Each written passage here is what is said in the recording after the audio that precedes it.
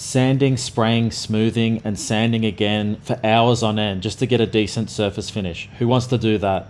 Every 3D printed part has this one problem.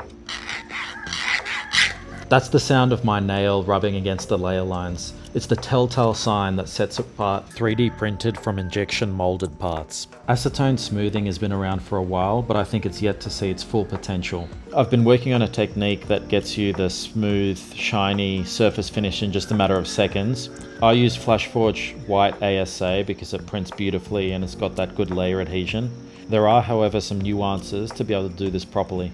A polished smooth surface finish beats a raw one with layer lines for a few reasons. First, it looks sharp and professional. Second, it's way easier to clean since it's less porous and it doesn't trap dirt or germs.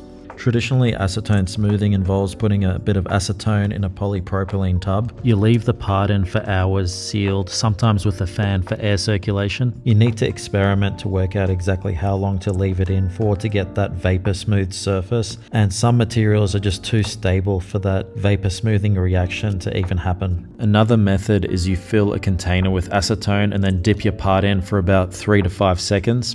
This produces a really good surface finish, but you can't do it with hollow parts. The acetone seeps into any cavities of the part and actually dissolves the plastic from within.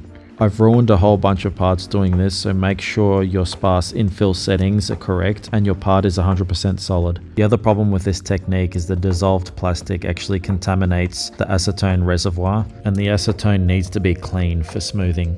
The method that solved all these problems was using a pressure sprayer. You have to adjust the nozzle to get a wide soft spray and you simply spray the part all over making sure you don't miss any spots.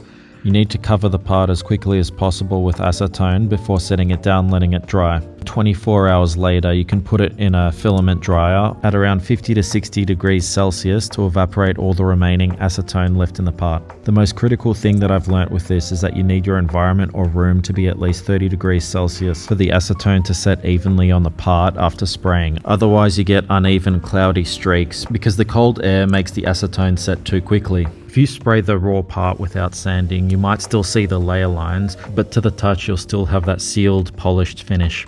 If you want to get rid of them completely, give it a quick coarse sand and the acetone will do the rest.